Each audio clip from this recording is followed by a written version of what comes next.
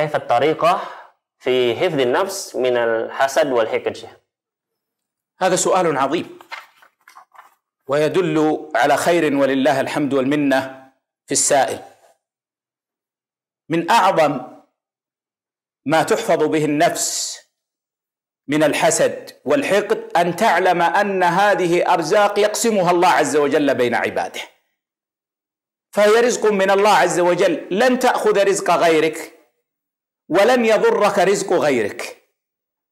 فقط إذا حسدت ستحرق قلبك وتحرق حسناتك ولن تحصل شيئا.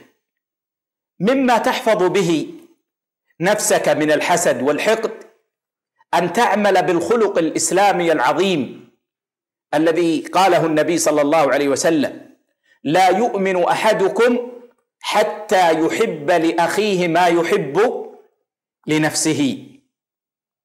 فأنت بدلا من أن يحل الحسد في قلبك ويظلم قلبك بالحسد يمتلئ قلبك بحب إخوانك المسلمين وتحب لهم ما تحب لنفسك. فتضاد الحسد. وهذا من أعظم ما تحفظ به النفس من الحسد. ومما تحفظ به النفس من الحسد أن يجاهدها الإنسان. فإذا تسلل الحسد إلى القلب فإن الإنسان يدفعه ولا يرضى به حتى يذهب ويزول. ومما تحفظ به النفس من الحسد أن يعلم المؤمن أن الحسد محرم وأنه من أمراض القلوب وأن يعلم أن هذا الحسد من الظلم وأن الحاسد ظالم. طبعا كما هو معلوم يستثنى من الحسد شيء واحد وهو ما يسمى بحسد الغبطة أو بالغبطة وهو أن يتمنى المسلم أن يكون مثل أخيه. هو لا يحسد أخاه ولا يريد أن يزول الخير عن أخيه لكن يتمنى لو كان مثله. فهذا جائز لا بأس به.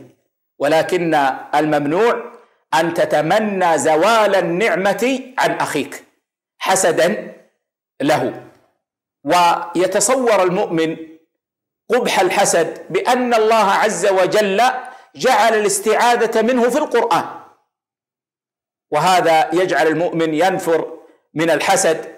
يعني يا أخي تصور أنك تحسد فيكون يستعاذ منك في القرآن ومن شر حاسد ومن شر حاسد إذا حسد.